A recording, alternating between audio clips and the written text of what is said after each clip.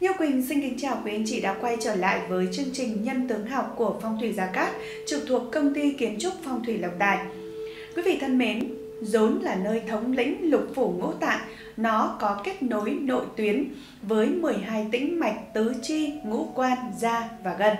Vậy nên, từ xa xưa, người hành nghề y đã biết cách chẩn đoán bệnh tật qua rốn cũng như là căn cứ vào hình dáng, kích cỡ, màu sắc rốn để dự đoán về sức khỏe tương lai sang hèn của mỗi người. Trong nhân tướng học, rốn nắm giữ vị trí, trí tuệ và phúc lộc của con người.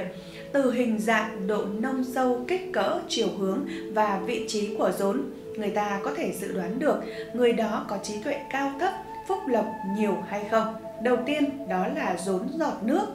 Đây là dáng rốn giúp chủ nhân vượng vận đào hoa, có rất nhiều người thương thầm nhớ trộm.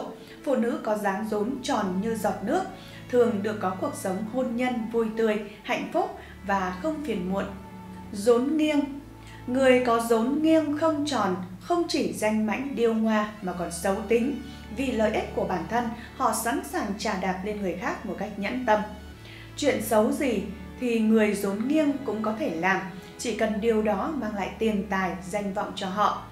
Gặp người rốn nghiêng thì bạn không nên kết giao, nếu không sẽ bị họ lợi dụng, thậm chí là đưa vào vòng lao lý.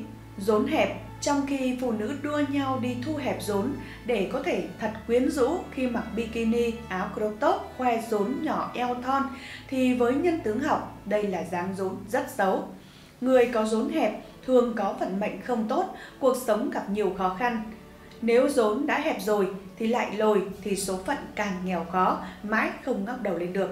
Rốn sâu, rộng Rốn vừa to vừa sâu là biểu hiện của may mắn và ca tường.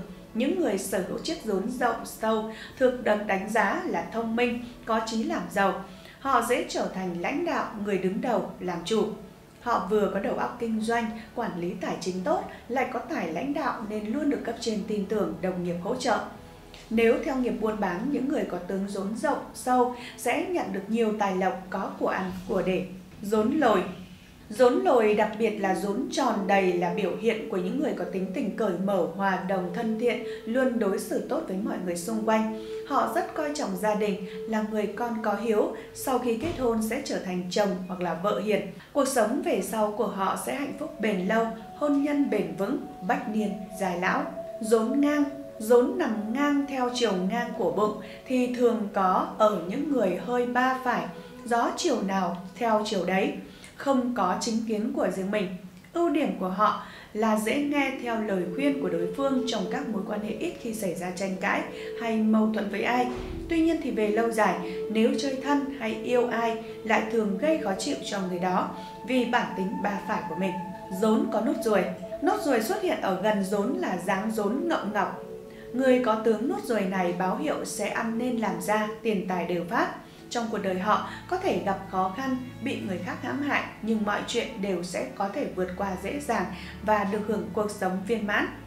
Về mặt tình cảm, người có nốt ruồi ở rốn được hưởng lộc, sống tình cảm êm ấm, hôn nhân viên mãn, hạnh phúc bền lâu.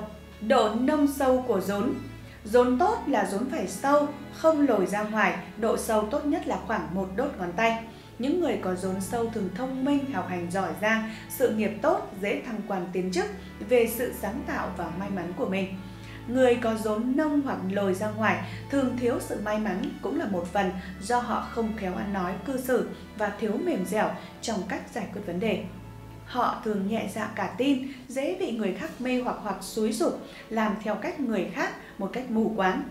Ngoài ra thì khi xem xét về tướng rốn, mệnh chủ cần phải chú ý tất cả những vấn đề sau đây.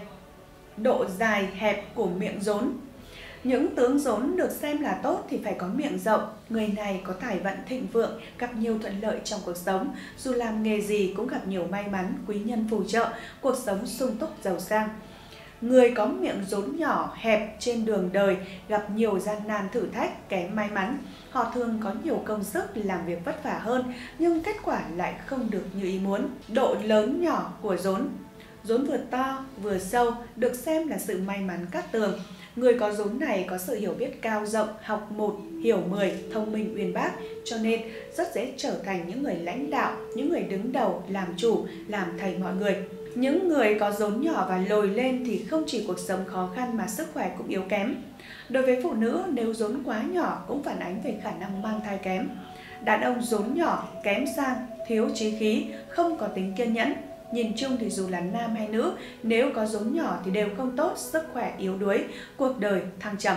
Chiều rốn hướng lên xuống nhưng ai có rốn sâu, to và hướng lên trên thuộc về các tướng, làm việc gì cũng có quý nhân giúp đỡ, cuộc sống như ý.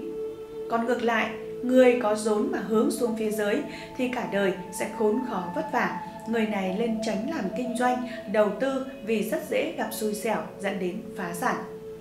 Vị trí của rốn nếu như rốn nằm phía bụng trên, chủ nhân có cuộc sống nhàn hạ, không lo cái ăn cái mặc, chỉ cần họ nỗ lực một chút thì ắt sẽ gặt hái được nhiều thành công. Nếu rốn ở phía bụng dưới hay là thấp hơn cho thấy người này tài vận không tốt, không giỏi quản lý tài chính, thường gặp khó khăn trong cuộc sống. Nên tập thói quen tích lũy của cải để cuộc sống đỡ vất vả hơn. Hình dáng rốn Rốn có dạng hình tròn hoặc là vuông là cát tường. Người có dấu này giàu lòng bác ái, sống chan hòa thương yêu, giúp đỡ mọi người xung quanh. Họ cũng được nhiều quý nhân phù trợ, dễ gặt hái được thành công. Hình dáng rốn không tròn vành rõ ràng mà méo mó siêu vạo cho thấy chủ nhân của nó thường không may mắn trong cuộc sống, phải đối mặt với nhiều khó khăn thử thách. Tuy nhiên thì nếu biết cố gắng phấn đấu, sống tốt với mọi người, trau dồi cải thiện bản thân thì có thể cuộc sống sẽ dễ thở, những vận xui cũng giảm bớt. Về mặt sức khỏe, từ xa xưa, người hành nghề y đã biết cách chẩn đoán bệnh tật qua rốn cũng như là căn cứ vào hình dáng, kích cỡ, màu sắc rốn để dự đoán về sức khỏe. Các bạn trẻ ngày nay vì chạy theo trào lưu mà đeo khuyên khắp nơi trên cơ thể như là một cách tự khẳng định đẳng cấp của mình khuyên tai khuyên mũi và cả khuyên rốn. Kỳ thực trong nhân tướng học, các loại bấm lỗ trên cơ thể người đều thuộc về phá tướng nó có thể làm tổn hại đến phúc vận của người đó. Vì vậy, ngoại trừ việc đeo hoa tai truyền thống ở nữ giới thì hạn chế việc đeo khuyên ở những bộ phận khác trên cơ thể. Và ở phần tiếp theo trong chương trình lần này, Phong thủy Gia Cát sẽ giúp anh chị tổng hợp ra những con giáp khi mà có những đặc điểm trên vận trình trong năm canh tí sẽ gặp phải nhiều tai họa, tài lộc giảm sút, gia đạo không được bình an, may mắn. Đầu tiên đó là tuổi Tý xem sự nghiệp của tuổi Tý năm 2020, con giáp này có tỷ kiên chiếu mệnh Tý thủy tọa thái tuế, trong hung vẫn có cát, bản mệnh dễ gặp được quý nhân trên con đường tiến bước, nhờ thế mà mọi sự thuận lợi suôn sẻ hơn gấp nhiều lần. Trong năm canh tí, những chú chuột nếu dành thời gian học tập, bồi dưỡng, nâng cao kiến thức thì sẽ rất tốt cho tương lai sau này. Bản mệnh cũng sẽ xuất sắc vượt qua các kỳ thi, sát hạch và có được bằng cấp đúng như dự kiến. Chuyện tìm việc cũng không quá khó khăn, tăng lương thăng chức chỉ là chuyện sớm hay muộn mà thôi. Sự thăng tiến trong sự nghiệp của tuổi Tý trong năm trực thái tuế là điều khiến cho nhiều người ngạc nhiên bởi không phải cứ gặp phạm thái tuế là sẽ vận xui. Thiên can canh kim dưỡng cho tỷ kiên tý thủy của tuổi Tý nên con giáp này sẽ phát triển cực tốt trong ngành tài chính hay những công việc có liên quan đến tiền bạc bản mệnh nên tìm cho mình công việc phù hợp để phát huy nội lực, không bỏ phí cơ hội phát triển cũng như là lỡ mất sự giúp đỡ của quý nhân.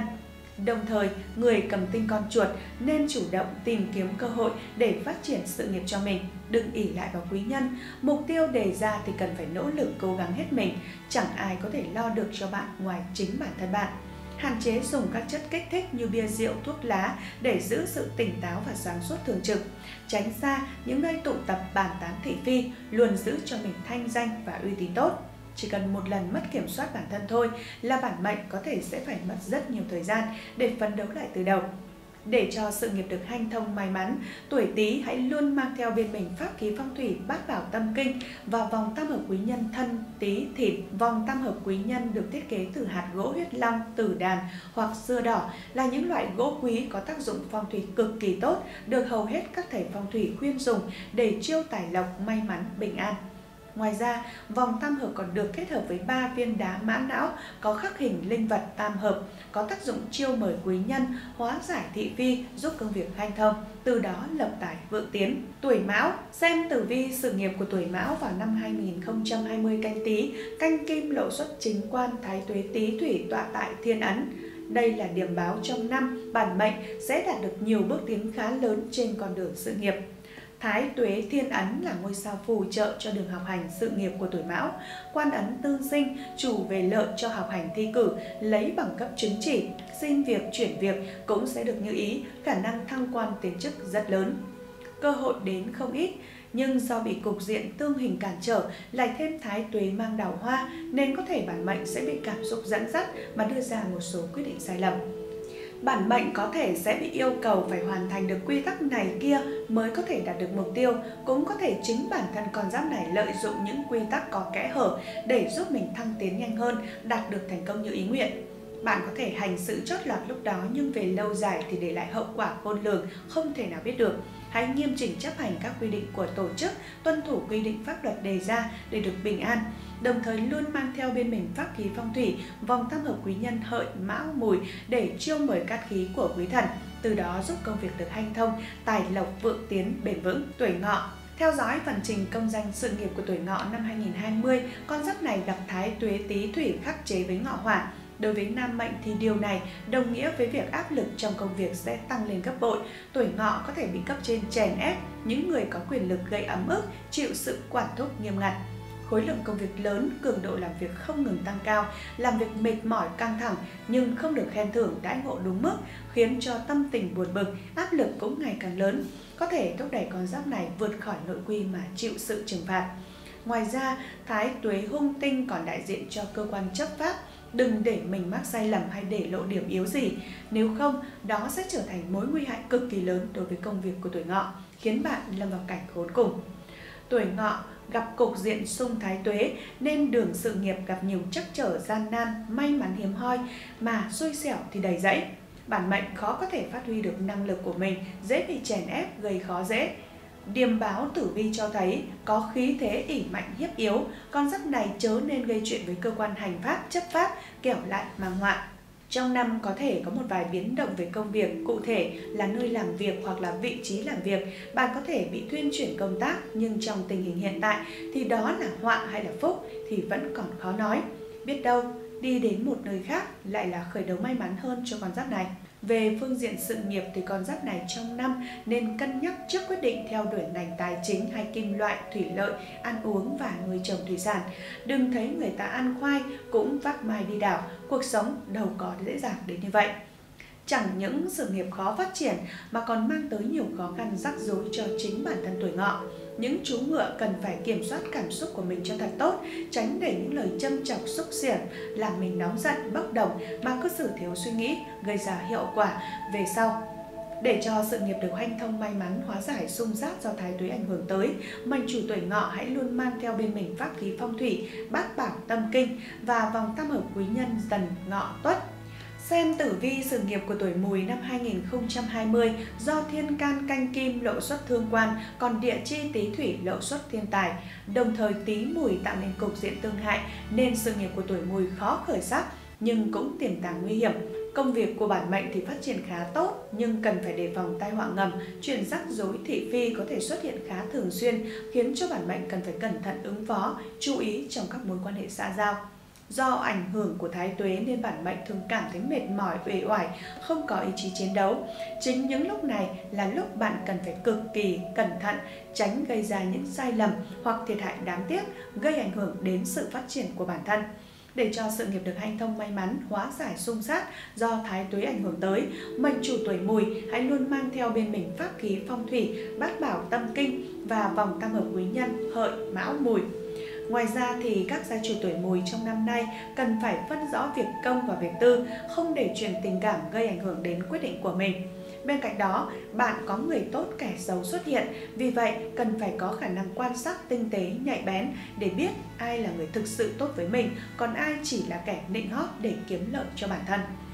Với những người làm nghề tự do, bản mệnh cần xác định rõ ràng mục tiêu cho mình, không nên quá tham lam, làm những việc thiếu đạo đức bởi những việc làm này sẽ gây ra nguy hiểm và thị phi cho chính bạn. Tuổi dậu trong năm 2020, sự nghiệp của tuổi dậu chủ yếu ở vào thế bị động, thường phải chịu sự cạnh tranh gay gắt của đối thủ hoặc mâu thuẫn từ đồng nghiệp. Chẳng những thế, bản mệnh thường không chuyên tâm vào công việc, dễ nghe theo lời dụ dỗ lôi kéo của bạn bè xấu, vì thế mà không có trí tiến thủ, thường suy nghĩ tản mạn, đây là nguyên nhân khiến cho bản mệnh khó có thể bình tĩnh giải quyết vấn đề trước mắt hoặc không đủ lý trí để xác định những kế hoạch tương lai của mình. Có thể nói rằng trong năm 2020, tuổi dậu thiếu đi động lực và hướng đi trong sự nghiệp, vì thế khó đạt được sự đột phá. Nếu muốn thay đổi tình trạng trên, con giáp này cần phải tham gia nhiều hoạt động hoặc các loại báo chí sách vở giúp truyền cảm hứng thay đổi tâm trạng. Về tổng thể, sự nghiệp của người tuổi dậu không được thuận lợi do phải đối mặt với cục diện tí dậu tương phá, tí thủy làm giảm nguồn sức mạnh của kim dậu, đồng thời địa chi và thiên can cũng tạo thành tổ hợp kiếp tài sinh thực thần để bổ trợ thân mệnh cho mình, kích tài nạp phúc, tịnh hóa nghiệp lực, gia trì công đức, giúp cho công việc làm ăn của gia chủ được hanh thông thuận lợi, thành công trong sự nghiệp. Mệnh chủ cần mang theo bên người một trang sức trợ mệnh đó là bát bảo tâm kinh hoặc minh quang pháp bảo. Con giáp này khó có thời điểm nào được yên ổn làm việc do phải chịu sự cạnh tranh gai gắt của đối thủ. Bản mệnh cũng vướng phải nhiều rắc rối, chính vì thế mà bản tính bất đồng lơ là sẽ gặp nhiều vấn đề xảy ra, khiến bạn phải tốn nhiều công sức mới có thể khắc phục được. Tốt nhất nên tránh xa những bạn bè xấu rủ dê lôi kéo tham gia vào các hoạt động vui chơi, làm lơ là sự nghiệp không nên dành quá nhiều thời gian cho sở thích cá nhân, nên xây dựng thời gian biểu hợp lý để có lối sống khoa học hơn. Trên đây là những nét tướng gắn với số mệnh mà người xưa đã đúc kết lại và truyền thành kinh nghiệm nhìn người, đoán vận mệnh, sang hèn, số phận của mỗi con người.